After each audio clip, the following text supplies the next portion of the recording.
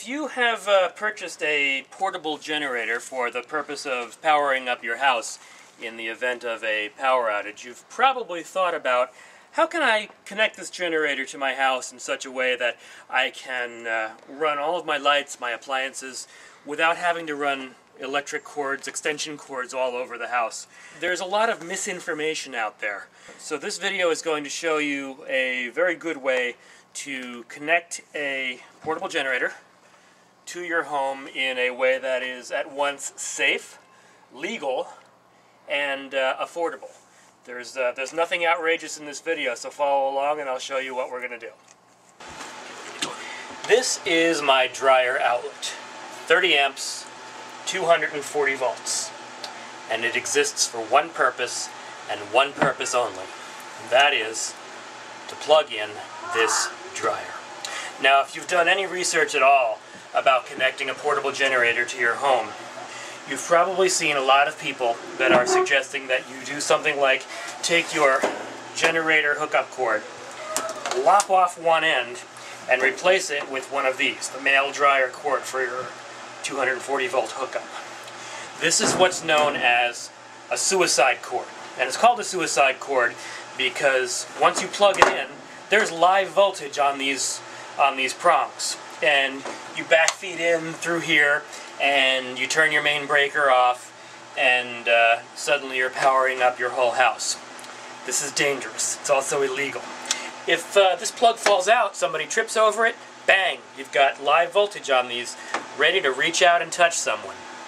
Um, and the other danger is if you talk to fire marshals for various towns, they will tell you that there are documented cases of people burning down their homes, homes home fires that start because these cables were not designed for backfeed. Um, because you're feeding here and the circuit protection is all the way back at the panel. Okay? So, backfeed. Don't do it. The rest of this video is dedicated to showing you how you can do this the right way.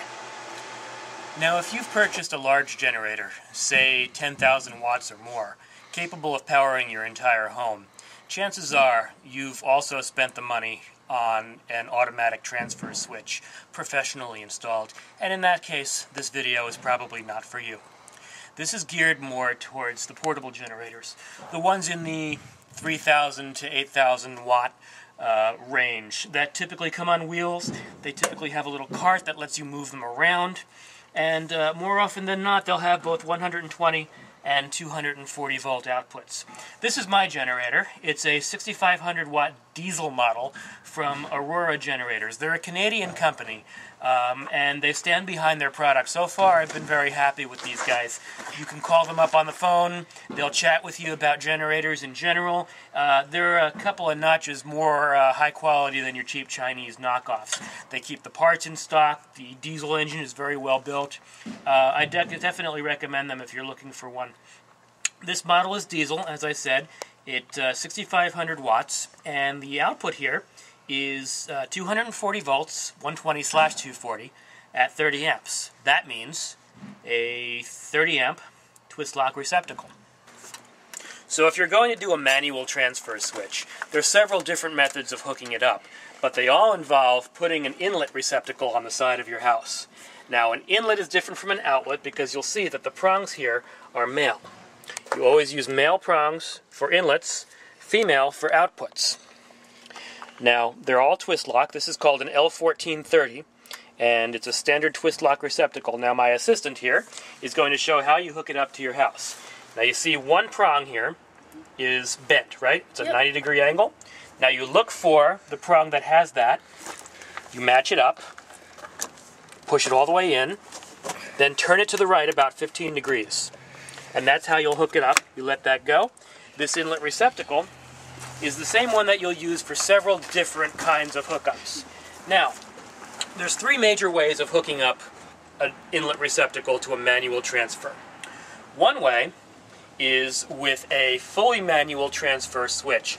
You've seen them, the ones with the big red handles, and you move it up one way to go with utility power, all the way down to go with generator power, and maybe there's a spot in the middle where you um, has no power at all, an off position. These are quite expensive. They do get the job done quite well, but they're very expensive. You might pay seven or eight hundred dollars for one that's big enough for your whole home. Another option is to buy what's called a interlock kit. A piece of metal that sits between your main breaker and a double pole breaker that goes in the upper right position of your panel. And that, up, that double pole breaker will go to your inlet receptacle and it feeds the generator. And that panel keeps the breakers interlocked so that they can't both be closed at the same time. That makes it legal. They do work, but you do have to have the space in your panel. Uh, I didn't. And I also think they're a little clumsy, but they do work and they are legal. The other way you can go, and the way that we went, is to install a sub panel that can be transferred between utility power and generator power. So let me show you how we did it. This was the panel that came with the house. 16 positions. It was a little small for this house, and I wanted to add some more circuits to begin with. So what we did was, we mounted up a second panel. And on this panel, we put all of the circuits that we want to be able to run on generator power. Things like uh, lights, the refrigerator, um, the furnace pump. We have a oil-based furnace, so all we need to run is the circulator. Some of the computers and things we have here, lights and outlets in the bedroom, the uh, TVs and computers. And we left things like the dishwasher, the air conditioner, the stove, which can be lit with a match, things like that we left on the main panel. Now the main panel feeds the sub panel using this 60 amp double pole breaker. And you can see this piece of Greenfield conduit up here that feeds the sub panel. Now here's the piece that makes everything work. This little interlock here. This is a model QO2 DTI interlock from Square D who made the panel. And this little interlock prevents your utility main and your generator main from both being closed at the same time. You see this little hi-hat here rocks back and forth. So, this is a 60 amp double pole breaker coming from the main panel. This is a 30 amp double pole breaker, which via this piece of orange cable here goes to that receptacle that I showed you on the outside. Now, whenever we want to run our home on generator power, all we have to do is flip these breakers and start our generator. Let's show you how it works. So, you're at home minding your own business when suddenly the lights go out all over the neighborhood. But you're prepared because you've got your generator. So let's show you how we do this. This is a diesel generator. I'm going to plug in that receptacle. It twists in place just like, just like the other end does. Circuit breaker. Always check your oil, no matter what kind of generator you have. Move the throttle to the run position. Going to heat it up with the glow plug, and I start the engine.